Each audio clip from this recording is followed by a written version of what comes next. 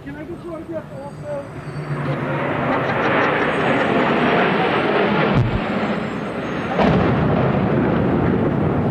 What the hell was that? Sound like a plane crash.